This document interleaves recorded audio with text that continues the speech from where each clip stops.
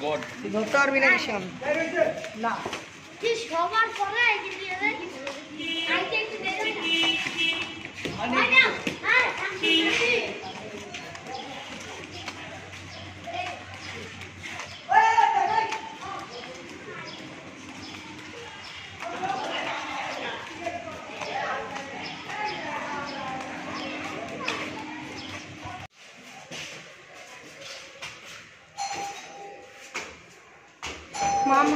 চলে মনে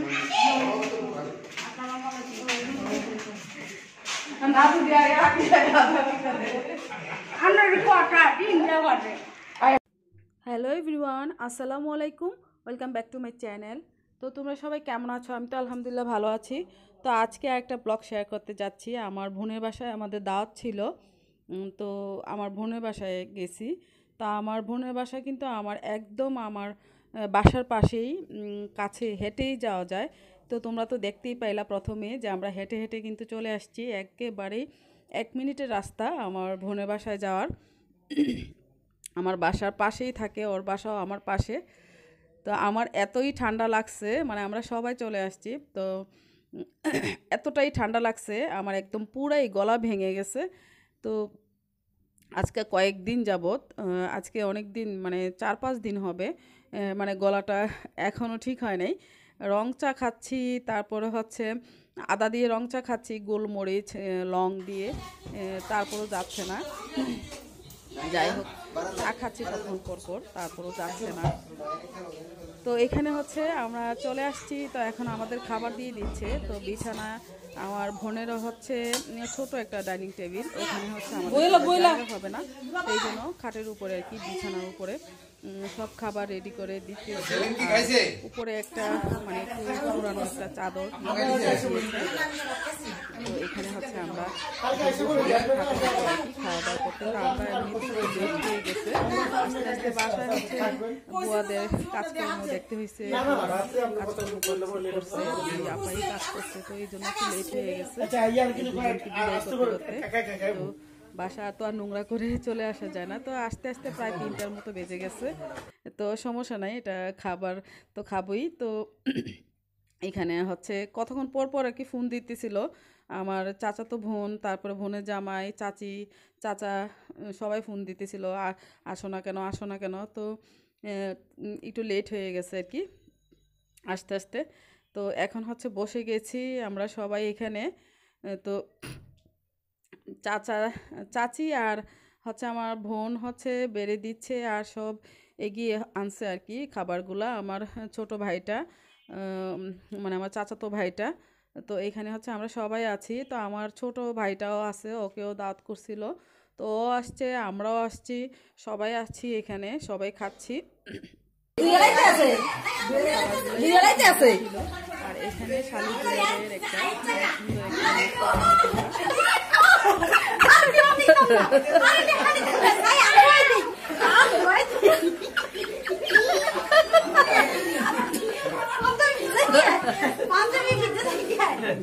পাঞ্জাবি ভিতরে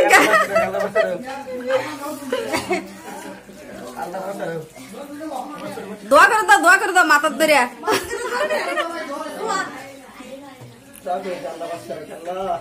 আমার ঘুরে জন্য করে শান্তি দান করে আমিন আল্লাহ আমিন তো এখন এখন হচ্ছে আমি আমরা কিন্তু বাসায় চলে আসছি। বাসায় আসতে আসতে হচ্ছে আমাদের একদম আটটা, নয়টা বেজে গেছে। বাসার কাছেই যেহেতু এই জন্য চাচি মানে চাচাতো বোন আসতে দেয় নাই। তো বসেছিলাম, চা খাইলাম, বিকালে নাস্তা নাস্তা খাইলাম। ওগুলো আর শ্যুট করি নাই। জানোই তো, এক জায়গায় বসলে একদম এমনি তো আমি আলিশা হয়ে যাই পুরা। মানে গল্প যখন শুরু করি দেই, তখন আসলে নিজের আত্মীয় স্বজনের সাথে, তখন কিন্তু আর ভিডিও করা হয় না। তো এটা হচ্ছে আমার বাসায় তারপর দিন, তারপর তারপর দিন সকালবেলা আমার ওই যে নতুন আপাটা হচ্ছে, এখন মানে ওয়াশরুম পরিষ্কার করতেছে। তো ওয়াশরুমটা ভালো করে পরিষ্কার করতে বলতেছি যে একদম ওয়াল টোয়াল সহ সুন্দর করে ভালো করে পরিষ্কার করে দেন। অনেক দিন ধরে ওয়ালগুলা পরিষ্কার হয় না, করা হয় না আর কি। শুধু ফ্লোরটা আর হচ্ছে মানে যে মানে টয়লেটটা আর কি, এটাই সেটাই পরিষ্কার করা হয়। আর ইটা পরিষ্কার ওয়ালটা পরিষ্কার করা হয় না। তো আমি বললাম, ভালো করে মেজে ঘষে ধুয়ে দেন।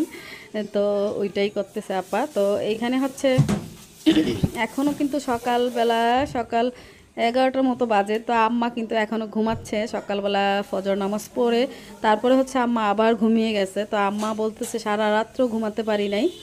তো আমি বললাম আচ্ছা ঠিক আছে, তাহলে ঘুমাও। তো আর ডাকি নাই। একবার ডাকছিলাম নাস্তা খাওয়ার জন্য। তো বলতেছে, আমি সারা রাত তো ঘুমাই নাই, আমি এখন ঘুমাবো, আর একটু ঘুমাবো। আমি আচ্ছা ঠিক আছে, ঘুমাও। আর এখানে হচ্ছে আমার যে নতুন আরেকটা আপা নিছি, ওই আপা হচ্ছে আমার রান্নাঘর পরিষ্কার করবে এখন, আর হচ্ছে আমার প্লেট বাটি এগুলো সব পরিষ্কার করবে, আর রান্নাঘরটা পুরাই ক্লিন করবে। ক্লিন করার পর হচ্ছে আমি রান্নাতে চলে যাব, কারণ গতকালকে খেয়েছি বোনের বাসায়, তো আজকে তো রান্না করতেই হবে, তো রান্নাটা করব এখন। আর আমার উত্তরা থেকে আমার ভাইয়ের বউ আসতেছে, আমার আম্মাকে নিয়ে যাওয়ার জন্য আর কি। তো আমাকেও বলতেছে যাওয়ার জন্য, দেখি মনে হয় যেতেও পারি বলা যায় না। তো দেখি যদি পারি তাহলে যাব, ইনশাল্লাহ। তো এখানে হচ্ছে, আমার রান্না শুরু হয়ে গেছে। তো আমি রান্না, আপা হচ্ছে একদম পুরা রান্নাঘর ক্লিন করে দিয়ে চলে গেছে। একদম চুলা, তারপরে সিন তারপর নিচের যে ইয়েটা, হাউসটা সবগুলোই পরিষ্কার করে দিয়ে চলে গেছে। তো রান্নাঘরও ভালো করে মুছে টুছে দিয়ে গেছে। তো আমি এখন হচ্ছে রান্নাটা বসাচ্ছি। তো রান্না করার জন্য এখানে আমি হচ্ছে রুই মাছ নিয়েছি। রুই মাছটা হচ্ছে গত পরশু দিন আনার। তো রুই মাছটা আমি কয়েক টুকরা নিয়েছি। এটা হচ্ছে নতুন আলু দিয়ে রান্না করব। তো নতুন আলু দিয়ে রুই মাছ দিয়ে কিন্তু ভালোই লাগে, খারাপ লাগে না, মজাই লাগে।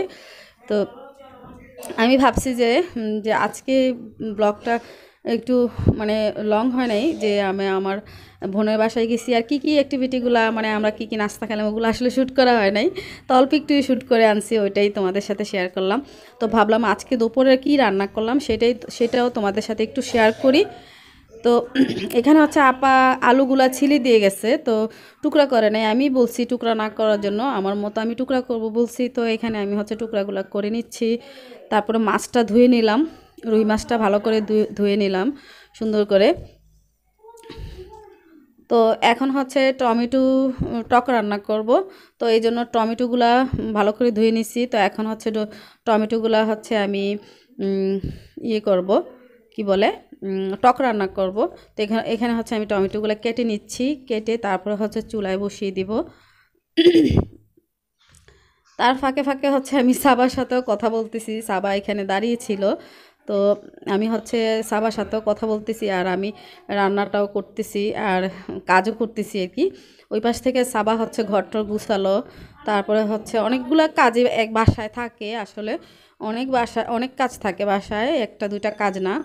পরিষ্কার পরিচ্ছন্নর একটা ব্যাপার স্যাপার আছে, ঘর গুছানো, তারপর ফার্নিচার মোছা, তারপর ঘর ঝাড়ু দেওয়া। আসার আগে আবার সাবা হচ্ছে মানে দুই তিনবারে ঘর ঝাড়ু দিয়ে ফেলে। এরকমও হয়। দেখা যায় আয়ান একটু হাঁটে এখন। তো আয়নার জন্য একটু পরিষ্কার রাখতে হয় সব সময় কারণ ও হাঁটাহাঁটি করে যেহেতু মনে হয় যে কিছু উঠায় নিয়ে মুখে দিয়ে ফেলবে এই জন্য আর কি সুন্দর করে ঘরগুলো পরিষ্কার রাখা হয়। অনেকবার ঝাড়ু দেওয়া হয়। তো আর যে আপারা ওয়াশরুম ধুইছে ও হচ্ছে প্রথমে রুটি বানাইছে, সকালবেলা এসে রুটি বানায়া তারপরে হচ্ছে কাপড় ধোয়া হয়েছে কাপড় ধুইছে, তারপরে হচ্ছে এখন ওয়াশরুম ধুচ্ছে।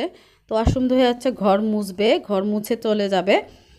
তো এখানে হচ্ছে আমি রান্নাটা বসিয়ে দিয়েছি। তো টক রান্না করার জন্য ওইখানে আমি পর্যাপ্ত পরিমাণ পানি দিয়েছি, টমেটোগুলো কেটে। আর হচ্ছে দিয়ে দিলাম হচ্ছে কি বলে, রসুন বাটা। রসুন বাটাটা দিয়েছি পরিমাণ মতো। আর এখানে আমি আর কিছুই দিব না, রসুন বাটা আর লবণ। এই তো লবণটা দিয়ে দিয়েছি। আর হচ্ছে কিছুই দিব না, এখানে একটা মজার একটা টক হয়ে যাবে। অন্য সময় আমি অল্প একটু তেলও দিই। আজকে তেলও দিইনি, ইচ্ছে করে। শীতের দিনে ধনে পাতা যে জায়গায় থাকবে বেশি বেশি সেই সেই জায়গায় তেলটা অল্প দিলেও চলে। কোনো সমস্যা হয় না। তো খেতেও কিন্তু একই রকম লাগে, মজা লাগে, ভালো লাগে খেতে। আর মাছের তরকারিতে তো তেল থাকবেই। তো তো এই তো আমার কিন্তু টকটা কিন্তু মানে সিদ্ধ হয়ে গেছে আর কি মানে টমেটোগুলা তো এখন হচ্ছে আমি এটা একটু ই করে দিলাম, উপরে উঠে গেছিল। তো আর এইখানে হচ্ছে মাছগুলো আমার ভাজা হয়ে গেছে। তো মাছগুলো উঠায় নিচ্ছি। তো এই তেলের মধ্যে আর অল্প একটু তেল দিয়ে দিব। দিয়ে হচ্ছে আমি প্রথমে পেঁয়াজ দিয়ে দিব। পেঁয়াজটা দিয়ে হচ্ছে ব্রাউন কালার হওয়ার পর হচ্ছে পেঁয়াজটা আমি কয়েকটা মেথি দিয়ে দিচ্ছি এখন। তো মেথিটা দিয়ে হচ্ছে ভালো করে নেড়ে চেড়ে আর একটু ব্রাউন কালার হয়ে গেলে পেঁয়াজটা আমি হচ্ছে দিয়ে দিচ্ছি এখন আলুগুলা। তো আলু সবগুলো আলু দিয়ে দিলাম। তো দিয়ে হচ্ছে ভালো করে একটু নেড়ে চেড়ে দিচ্ছি। একটু আদা বাটা, রসুন বাটা দিয়ে দিলাম পরিমাণ মতো। আদা বাটাটা, রসুন বাটাটা অল্প অল্প করে দিয়ে দিলাম, লবণ দিয়ে দিলাম। তো লবণটা দিয়ে হচ্ছে আমি ভালো করে নেড়ে দিচ্ছি, হলুদ দিয়ে দিলাম। হলুদ, লবণ, আদা, রসুনের পেস্ট আর হচ্ছে মরিচের গুঁড়া, হলুদের গুঁড়া এগুলো দিয়ে দিলাম। একটু ধনে গুঁড়া দিব। দিয়ে ভালো করে নেড়ে ঢাকনা দিয়ে দিচ্ছি। তারপরে এখন হচ্ছে আমি একটা ডাল ঘুটনি দিয়ে, ডাল ঘুটনি দিয়ে কি টমেটোর টকটা আর কি ভালো করে ঘুটে দিলাম সুন্দর করে। আর আমার বোনের বাসায় যখন গেছি, তো তোমরা অবশ্যই বুঝতে পারছ যে আমাদের নিজের বাস, ভাষায় কিন্তু আমরা সবাই একসাথে কথা বলি। এটা কোনো ব্যাপার না, আমরা সবাই যেখানে যাই, এই আমাদের গ্রামের ভাষায় কথা বলি, ভালো লাগে পছন্দ লাগে। মানে একটা মনে একটা শান্তি আসে যে না পরিবারের সাথে কিসের শুদ্ধ কথা। আমরা যেই ভাষায় কথা বলি, সেই ভাষায় কথা বলতে পছন্দ করি সবাই। তো যাই হোক, আমার তরকারি কিন্তু হয়ে গেছে, কষানো হয়ে গেছে। আর এই পাশ থেকে হচ্ছে আমি ইও দিয়ে দিয়েছি, তো সবাই ভালো